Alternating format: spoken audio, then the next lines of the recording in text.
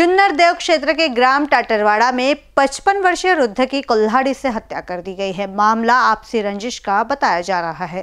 Police से मिली जानकारी के अनुसार मृतक लखन आम्रवंशी, उम्र 55 वर्ष, निवासी ग्राम पंचायत टाटारवाड़ा का जमीनी विवाद सगे भाई सकरलाल व भतीजे से चल रहा था। उसी विवाद में आज मारपीट हो गई, जिसमें सगे भाई सकरलाल एवं उसके नौकर ने लखन पर कुल्हाड़ी और डंडे से वार कर दिया है।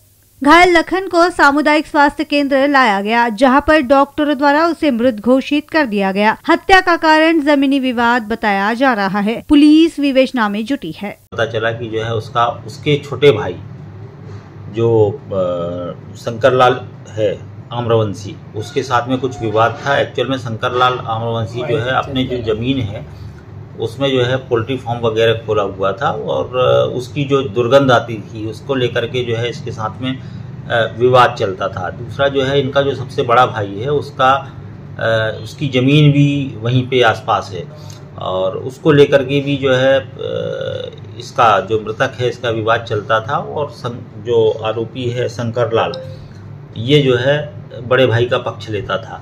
इसी भाई को इसी विवाद को लेकर के जो है इनके बीच में विवाद चलता था और इसी चीज़ को लेकर के जो है आरोपी गणों के द्वारा जो है मारपीट की गई है और इसमें जो है शंकर लाल आम्रवंशी जो छोटा भाई है मृतक मृतक का और उसका नौकर राहुल इवनाती, इन दोनों को जो है हमने पुलिस कस्टडी में लिया है और इनने जो है घटना करना स्वीकार किया है कि इनने मार बीसीएन न्यूज़ के लिए छिंदवाड़ा से शेखर राजपूत की रिपोर्ट।